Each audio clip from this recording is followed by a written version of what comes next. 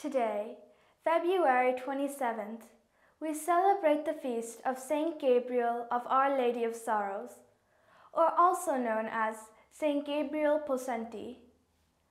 Born in Italy into a large family and baptized Francis, Saint Gabriel lost his mother when he was only four years old. He was educated by the Jesuits and having been cured twice of serious illnesses, came to believe that God was calling him to the religious life. Young Francis wished to join the Jesuits, but was turned down, probably because he was not yet 17. Following the death of a sister to cholera, his resolve to enter the religious life became even stronger, and he was accepted by the Passionists. Upon entering the novitiate, he was given the name Gabriel of Our Lady of Sorrows. Ever popular and cheerful, Gabriel was quickly successful in his effort to be faithful in little things.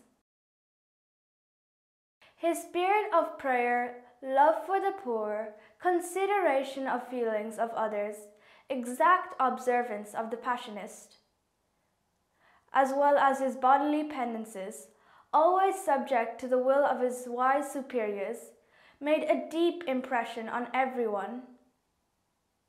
His superiors had great expectations of Gabriel as he prepared for the priesthood.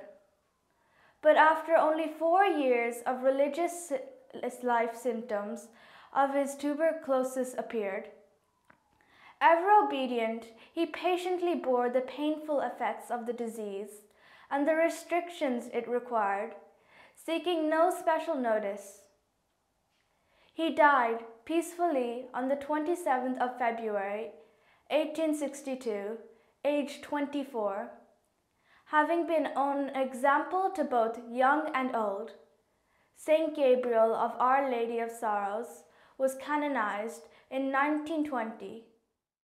Saint Gabriel of Our Lady of Sorrows, pray for us.